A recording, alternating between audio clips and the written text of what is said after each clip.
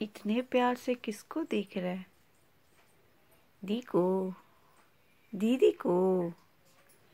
प्यालू प्यालू। तभी सोने को रेडी है। अपने बेड पे आ गया है।